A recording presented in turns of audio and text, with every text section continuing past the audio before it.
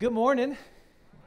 Great to be here with you. Pastor Derek was very kind, overly kind, might I uh, just add. I have had the privilege of knowing he and his wife Beth for basically 20 years, right? That's, that's not easy to come by uh, these days. I have known Pastor Adrian and Wendy now for 15, 16 years. My wife and Wendy used to dance together. Um, and I mean, they've got stories. I've got stories with Adrian. And yes, Derek and I also were on a hip hop dance team back in the day, right? There was a little roll, a little pop and lock that might have happened, you know, here and there. You just might not. You may, who knows what's going to happen this morning? It's going to be a little crazy. Um, guys, I mean it when I say it, it friends don't they don't come easily of that length and that magnitude. I'll also just say this if pretty much all my problems and all my issues can really be tied back to being friends with these guys for 20 years. I mean, I pretty much blame them for all of my stuff. That's that's good leadership. That's in the Bible, right? guys, uh, my name is Andy. I pastor our Every Nation Church just outside Atlanta in Kennesaw. I have been married um, for 16 years. My wife's name is Amy. We have four kids 12, 10, 8, and 6. And we added to our mix a pandemic puppy. Uh, if you are familiar, uh, puppy sales were through the roof this past year because everybody was home. And so, we, I mean, why not? Let's add a puppy to the mix. And so that's our family. Uh, we've been in ministry now for about 20, almost 20 years and God is good, He's faithful. One of the things, in, you know, we laugh about relationships. Um, the truth of the matter is, relationships are tough. Relationships are hard. And whether it's people that you walked with for some time, whether it's people in a church, people at work, whether it's people in your home, people that you live with, that you're that you you know rent an apartment with, relationships are difficult. And you got to work through stuff. And that's why today I have the joy and privilege of getting to talk to you about anger. What makes you mad? What gets you angry? Let's get more specific. Who makes you angry? Don't say it out loud. Some of you are thinking of somebody right now. You're like, oh, this, this person. I grew up in the Midwest. Um, was in the, I grew up in St. Louis, Missouri, and you know, in, in the Midwest, everybody has a basement. When I lived in Florida for six years, nobody had a basement. And so this was like a shift for me. I didn't, I didn't know that. I didn't get that. Well, growing up in my house, everybody has a basement. And in my house, growing up in the 80s, uh, I had the original Nintendo hooked up in the basement with the big wooden TV. You know what I'm talking about? If you're if you're if you're an '80s kid, you might uh, be able to relate to this. But like the kind of TV you had to, you know, you walked over to it and like cranked that dial to change the channel. That's what I grew up with. That's what the Nintendo was hooked up on. And on one such occasion, uh, as the eight-year-old Andy was playing that Nintendo, I was playing the greatest game of all time. What was that game? I'm So glad that you asked. The Legend of Zelda. Okay? Was the Legend of Zelda. Don't even try to fight me on this, people. You had a sword and shield. You had epic music. You're saving a princess. I mean, I was living for this. And I'm, I'm as an eight year old, this is a hard game. We didn't have this cloud based stuff where your progress gets saved. Come on. You had to like commit and you would, you know, you, you would like leave the Nintendo on and then you'd go eat dinner and then you'd come back to it and you prayed that that thing was still, you know, the red light was consistent, wasn't starting to blink yet. You know, you, oh, oh, this was real. Well, my sister decided that she was going to teach me an, an object lesson in self control because I got mad playing The Legend of Zelda. Threw my controller down. Nintendo going to treat me like this? So she walked over to that Nintendo and she just pushed that button.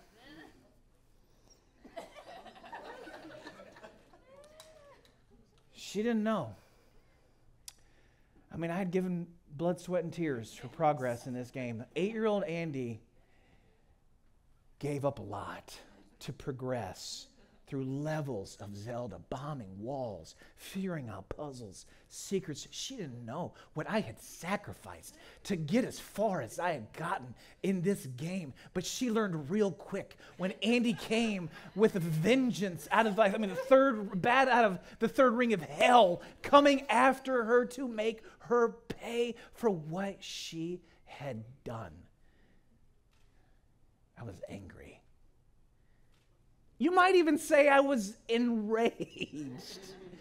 what makes you angry? We can laugh about it, we can joke about it. Obviously, that's kind of a humorous story. If you have a sibling in this room, you know what it's like to get angry. Some of you know, everybody here knows what it's like to be mad and angry with their mom or their dad or both.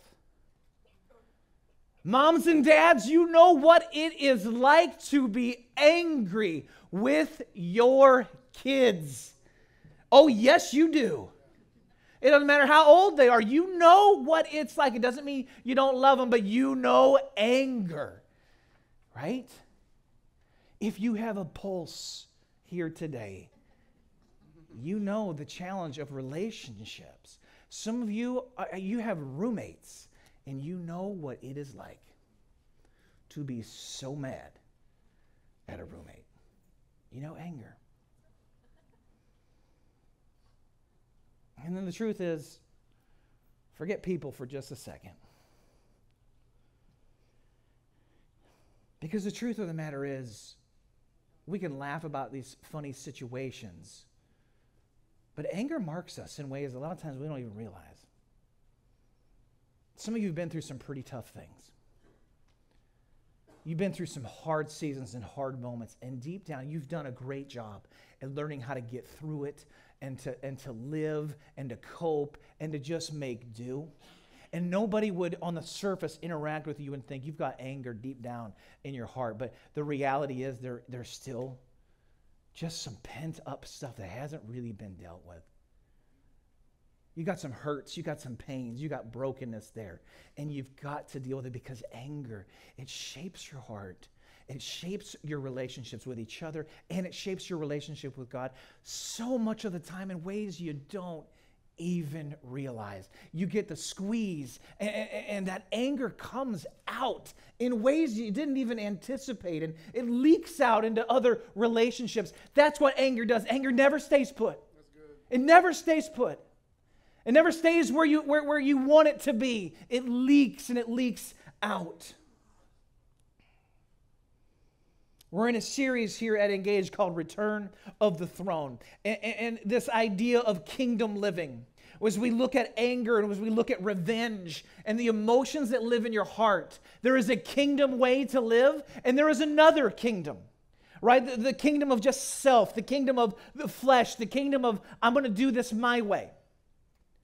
And Jesus instructs us by the power of the Holy Spirit to live a different way with different values, with different priorities, with a different worship. But for most of us, it doesn't make sense. There's a natural just flow. We call this the world, right? The, the rhythm of the world where the, the tide is just moving this way. And when it comes to anger, when it comes to revenge and your emotions, here are some very common things that just naturally the world embraces. And when I say world, I don't mean this like fabric of boogeyman type stuff where you need to somehow be scared about going outside and, you know, oh, the world. No, no, no, no, no. Simply that there is there are two competing systems here. There is God's kingdom and there is everything else and we will call that simply the world, the other world. Okay? This is mine for the taking. So take it. You hurt me, So now I'm going to hurt you. You don't do that to me. Who do you think you are? I don't think so. There's grasping, clamoring, seizing, dominating. Do whatever it takes. Whatever it takes.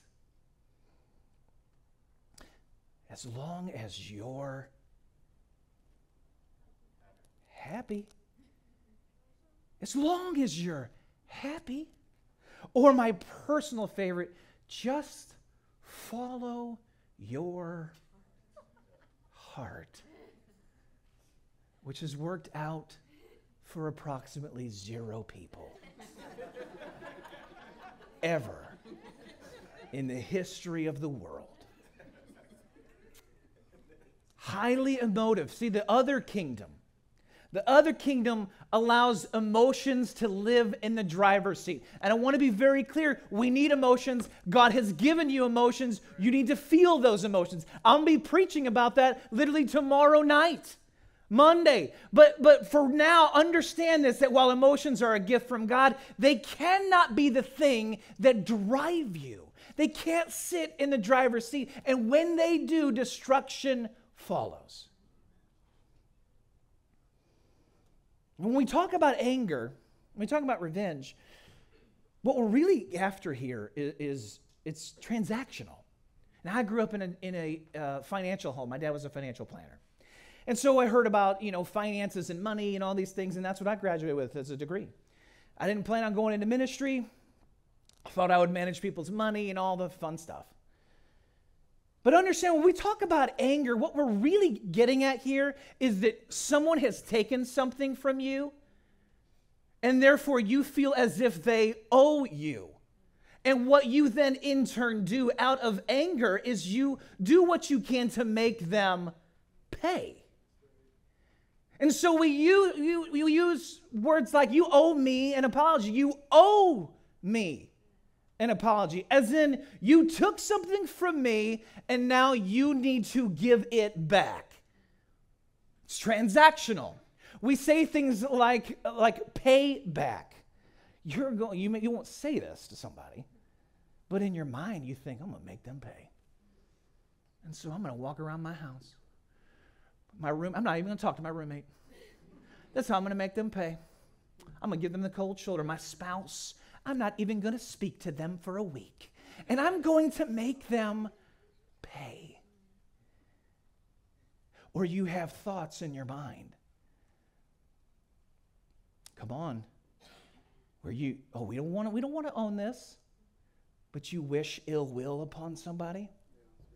Oh, you know you do. Where you just you think, oh, I mean, I'm not, maybe I don't wish this upon them, but if something bad happened, I, wouldn't feel bad about it.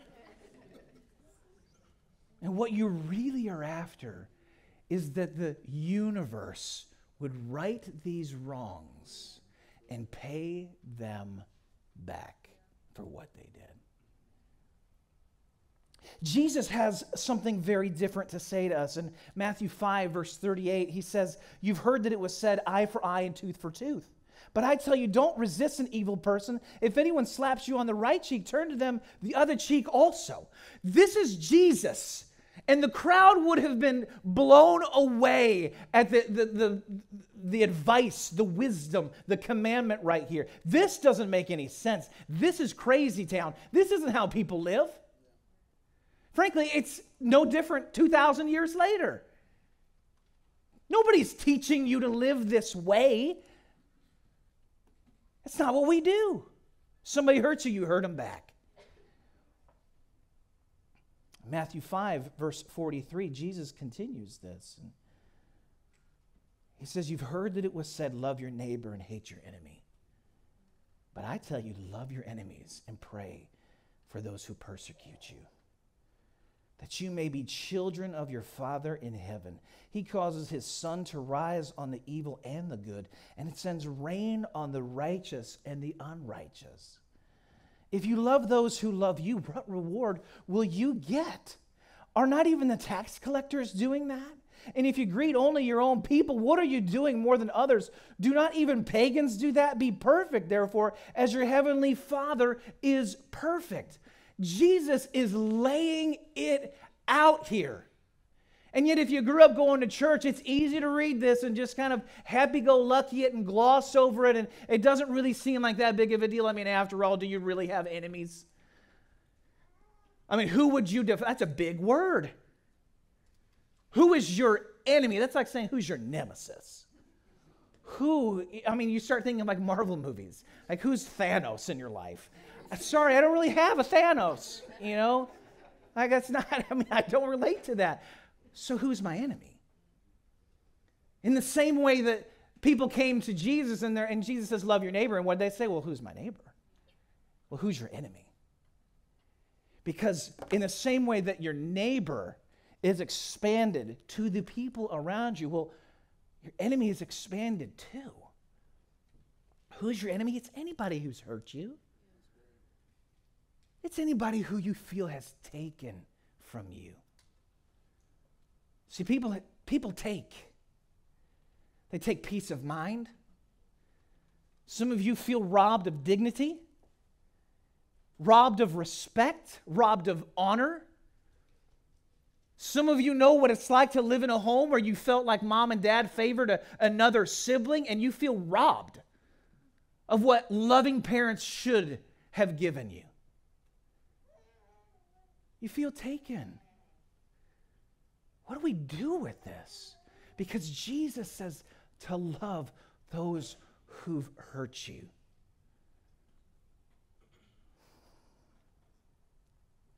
Paul says something similar. He says, Get rid of all bitterness. In Ephesians chapter 4, rage and anger, get rid of it. Brawling and slander, along with every form of malice. Get rid of it. That's easy.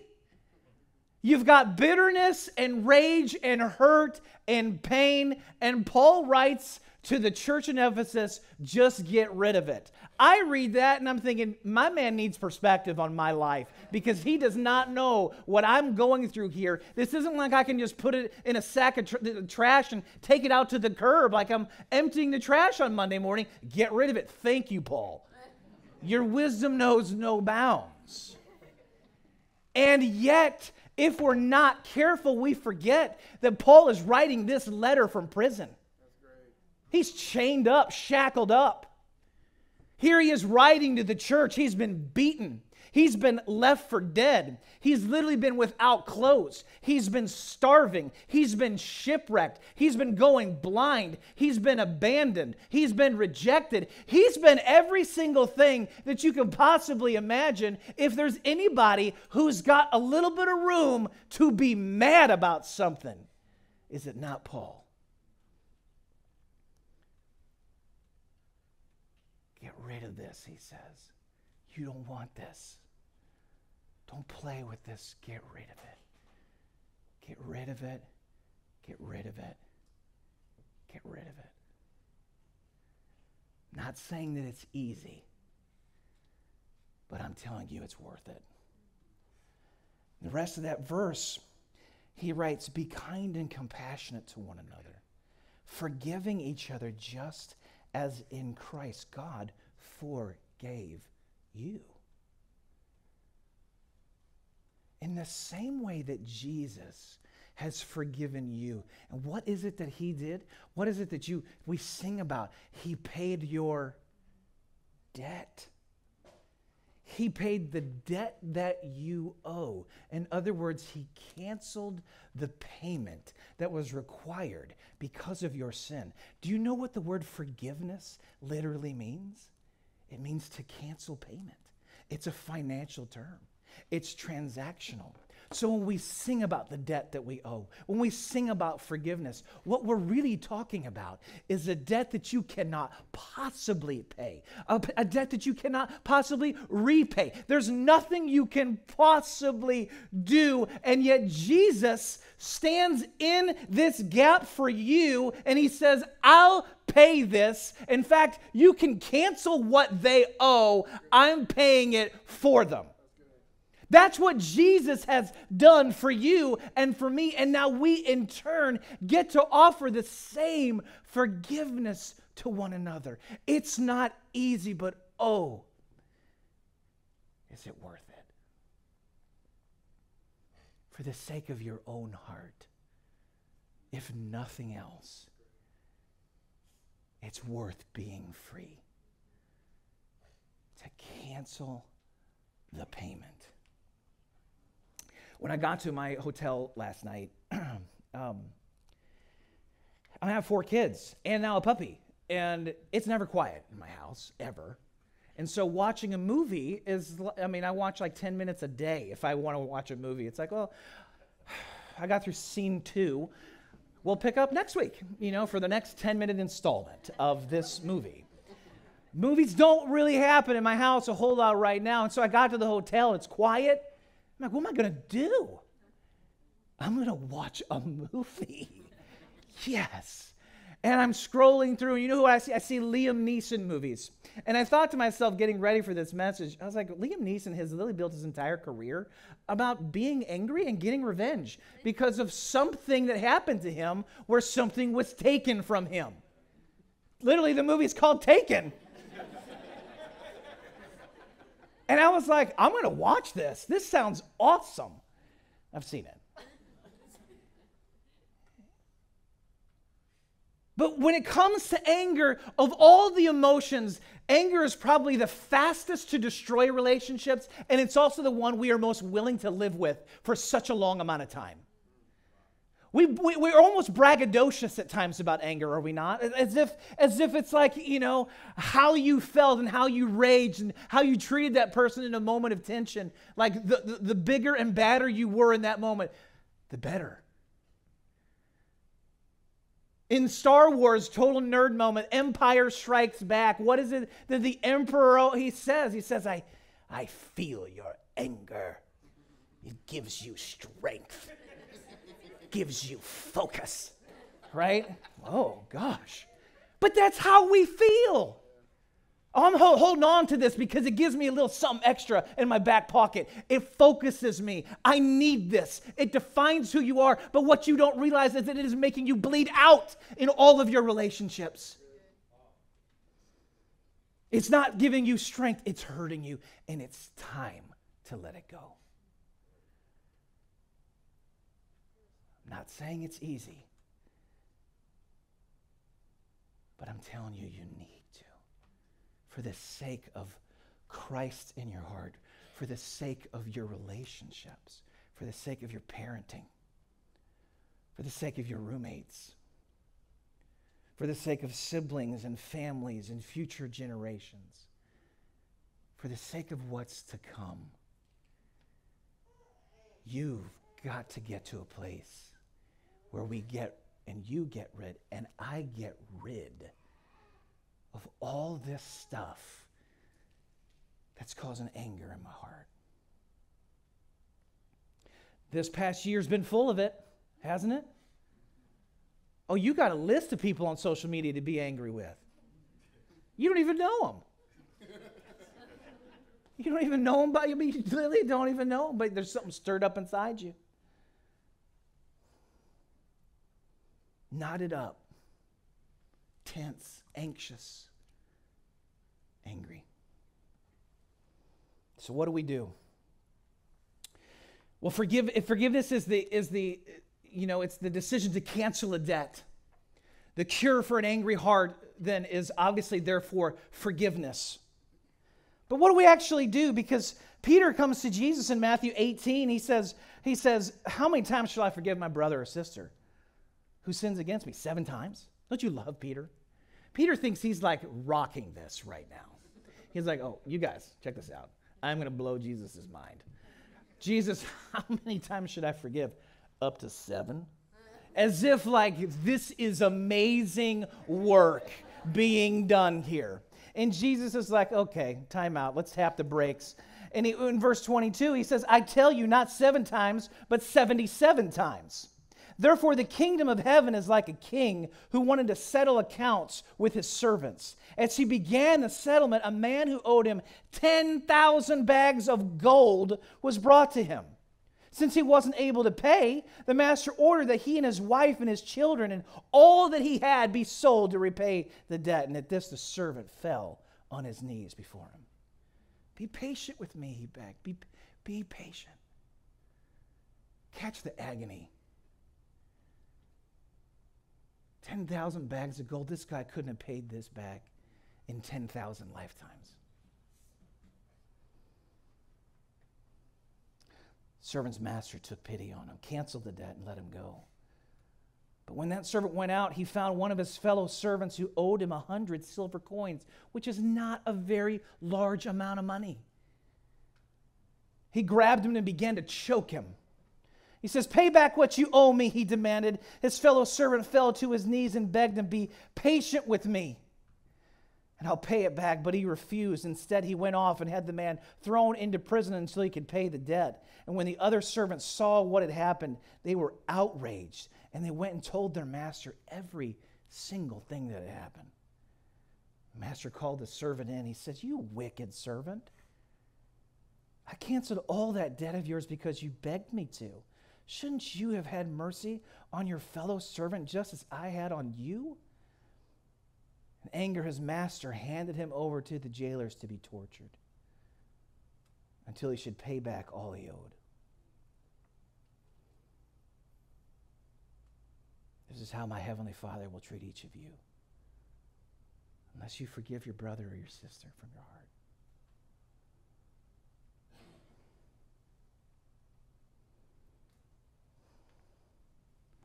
In other words, the magnitude of our sin is so great.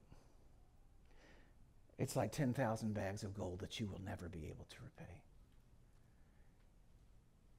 And yet, your master, your heavenly Father, in mercy, canceled that debt. And yet, we have so many times, in turn, been that person who, in turn, refuses to extend grace and forgiveness to those who've wronged us. And many times, and I'm making light of it, many times it is small things, might I add.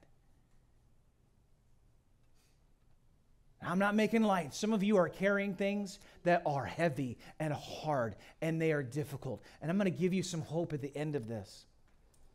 Cultivating a habit of forgiveness in your life and in your heart. I'll share a story. It's different than the one I shared in the first service. I got lots of opportunities to share and kind of open up to you about things that I've done wrong or, or moments where I've been hurt or pained or things have been difficult. And when I pastored in Orlando, there was a scenario, a situation where, where one of my best friends who was on staff with me had a moment of moral failure. When I say moment, I mean three years of deception and lying. And it was on staff at our church, and, and it was the kind of thing that could have literally destroyed the whole church. It was, it was one of those things. Not only was it, was it hurtful because it was on staff and it was our church, but it was my friend, my best friends. And I was so mad and I was so hurt over it. I had to sit down and fire my friend. And I was driving around in downtown Orlando, and out of my mouth, I said, God, if you want to just take this dude out with a bus right now, wouldn't be that upset. Did I really mean that? No. But did I feel it in that moment? Yeah did. I'm a pastor. That's not very pastoral. That's not very kingdom. God, if you want to take this dude out with a bus, be my guest. And I rounded the corner and I was hit by a bus. Totaled my car. Took the whole front end of it off. It was one of those situations where you pry yourself out of the car, not sure how you're not scratched. I stood there in downtown Orlando. I was reminded of this.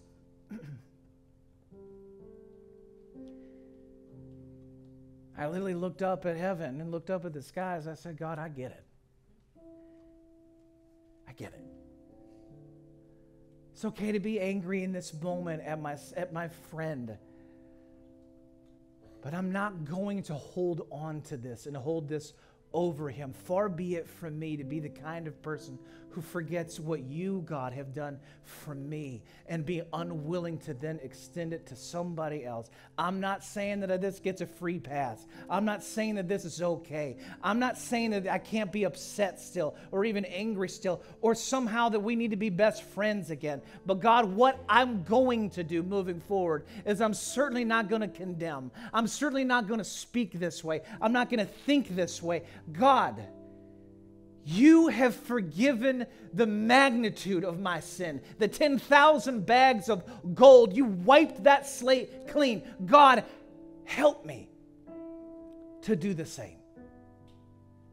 Whether it's somebody that you work with, whether it's somebody on social media, how many things have boiled up right now politically, race based, vaccination based where you've just been angry and you want to fight somebody, or you're walking away in your mind thinking a certain thing, thinking something over somebody, wishing something for somebody, and this isn't the way to live. This is not God's kingdom. There is a better way, and that way is the road of forgiveness. A habit of forgiveness. God, I cancel the debt. I feel like this person owes me. I feel like my mom or dad owe me. I feel like my brother or sister owe me. I feel like my roommate owes me. I cancel this debt. I will not require payment any longer.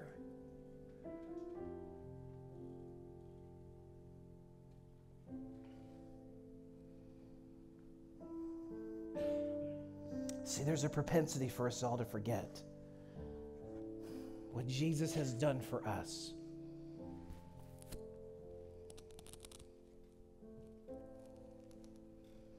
I want you to hear this today, church. Most people think of forgiveness in terms of what has been done to them. But God asks you to forgive in terms of what's been done for you. He's given you everything through Jesus. And today you get to do the same.